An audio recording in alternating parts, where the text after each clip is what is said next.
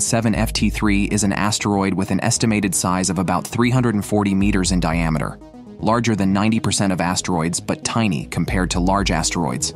It is roughly the size of a US Capitol building.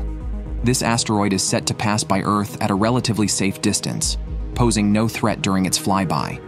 The next time it will approach Earth is on October 3rd, number 2, 2011 MD. Shortly after 2007, FT3's flyby, 2011 MD, will make its approach towards Earth on October 8th. This small Apollo group asteroid, approximately 6.3 and 14 meters in diameter, comes close to Earth every six years. This bright microasteroid, almost the size of a house, despite its proximity, is too small to pose any significant threat to the planet.